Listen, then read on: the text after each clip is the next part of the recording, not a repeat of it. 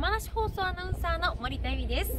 皆さんは路線バスやタクシーをお得に利用できるこちらの回数券ご存知ですか？10月19日放送の全身山梨では一体どれくらいお得に利用できるかお伝えしますので皆さん必見ですよ。見てください。